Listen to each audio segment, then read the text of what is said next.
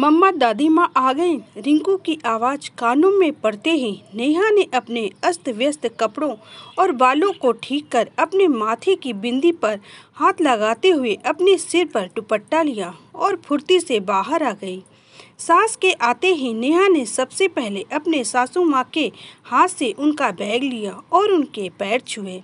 इस पर शर्मिला जी ने उसे खुश रहो का आशीर्वाद दिया और फिर बड़े ही जोश के साथ अपने पोते रिंकू को गले से लगा लिया। नेहा ने सासू माँ जी के सामने मेज पर पानी का गिलास और गाजर का हलवा रखते हुए पूछा, माँ, सफ़र में कोई परेशानी तो नहीं हुई? नहीं, कोई परेशानी नहीं हुई। नेहा से बात करने के बाद शर्मिला जी ने तुरंत अपनी बहन को फ़ोन किया और कहा, हेलो हाँ बहन, नमस्ते, मैं आगरा पहुँच गई हूँ। हाँ मैं ठीक हूँ, आप बताओ दीदी, कैसी हो? हाँ अच्छा ठीक है, मैं कल आराम से बात करती हूँ आपसे। बस हाथ पैर धोकर खाना ही खाऊँगी। ठीक है दीदी? नमस्ते। शर्मिला जी ने अपनी बड़ी बहन, जो कि नागपुर में रहती थी, अपनी सकुशल आगरा पहुँचने की खबर देकर फ़ोन रख दिया और सासू माँ के आते ही रिंकू से कहा, रिंकू बेटा, हर जगह तुमने ये अपना सामान बिखेर कर रखा हुआ है और बेटा कम से कम अपनी किताब निकालते समय तो थोड़ा ध्यान दिया करो। पता है सुबह से तीसरी बार मैं ये तुम्हारी बुक सिर्फ़ ठीक कर रही हूँ। प्लीज़ बेटा थोड़ा सा ध्यान रख लिया करो। ना, और वैसे भी कल से मैं ये सब कहते कहते थक गई हूँ। ये लो जो जो तुमने मंगवाया था, मैं वो सब कुछ ले आया हूँ बाज़ार से। अब बस तुम्हारा केक बनाने का सामान बचा है, जो मैं शाम को जब रिंकू की किताबें लेने जाऊँगा, तब लेता आऊँगा।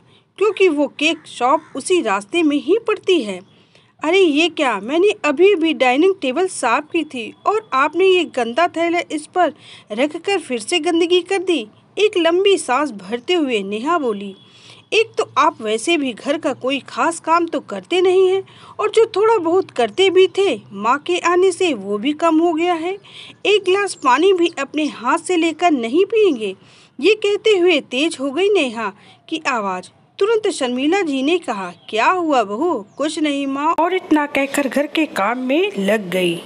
घर का सारा काम निपटा कर नेहा शाम को फिर से जल्दी ही खाने की तैयारी में लग गई। नेहा ने खाने में सारी चीज़ें अपनी सासू माँ की पसंद की ही बनाई थी। पनीर की सब्ज़ी गोभी और दही बड़ा से लेकर गाजर का हलवा और खीर भी बनाई थी। आज नेहा के हाथों की बनी हुई शर्मिला जी पहली बार खाना खाने वाली थी। और एक नई चीज़ भी नेहा ने बनाया, केक। नेहा को पता था कि उसकी सासू माँ को केक बहुत पसंद है तो बस इसलिए उसने उनके लिए केक भी बना लिया। वैसे तो नेहा की सासू माँ रायपुर में ही रहती थी, क्योंकि उनका कहना था कि उन्हें आगरा शहर का माहौल, मौसम और मिजाज तीनों ही सूट नहीं करते। मगर फिर भी वो बेचारी अपने बेटे के मुँह में साल में दो या तीन बार तो यहाँ खींची चली ही आती थी। अमर की प्राइवेट नौकरी की भागम भाग में उसे छुट्टी कम ही मिल पाती थी और फिर इधर उनके बेटे रिंकू का स्कूल, कराटे क्लास और नेहा की ट्यूशन क्लासेस, बस इन सब के बीच वो चाहकर भी बड़ी ही मुश्किल से किसी तीज या त्यौहार पर ही रायपुर जाने के लिए दो या चार दिन का समय ही निकाल पाता था। शर्मिला जी को अपने बेटे व बहू के पास आगरा आए हुए पूरा दो हफ़्ता बीत चुका था। और बीते हुए इस दो हफ़्ते में वो कम से कम नेहा को चार या पाँच बार तो उसके वज़न को लेकर खरी खोटी सुना ही चुकी थी। और उन्हें लगता था कि नेहा एक बहुत ही आराम परस्त ज़िंदगी जी रही है, क्योंकि उनके अनुसार उनका बेटा तो बेचारा सुबह ही ऑफ़िस चला जाता है और नेहा घर में मालकिन बनकर सारा दिन बैठे बैठे खूब खाती है और एक काम भी नहीं करती। क्योंकि इस बार शर्मिला जी को उनकी सबसे नापसंद चीज़ यहाँ जो देखने को मिली, और वो थी काम वाली बाई, जिससे शर्मिला जी को सख्त परहेज था। बर्तन झाड़ू पोछा से लेकर कपड़े तक धोने का सारा काम यहाँ तो काम वाली बाई ही करती है। जबकि नेहा के बढ़ते हुए वज़न की वजह तो कुछ और ही थी, मगर वो शर्मिला जी की हर एक बात को चुपचाप ही सुन लेती थी। शादी के इतने साल बीत जाने पर भी नेहा ने कभी भी अपनी सास को पलटकर कोई जवाब नहीं दिया था। तो फिर अब इतने सालों बाद वो कुछ भी कहकर अभी तक का अपना किया हुआ सब कुछ खत्म नहीं करना चाहती थी। शर्मिला जी नेहा को बात बात पर रोकती टोकती थी। उसके द्वारा किए गए हर एक अच्छे से अच्छे काम में भी कमी निकालना तो जैसी उनकी पुरानी आदत बन गई थी, वैसे इसमें जितनी गलती शर्मिला जी की थी, उससे कहीं ज़्यादा गलती शायद नेहा की भी थी।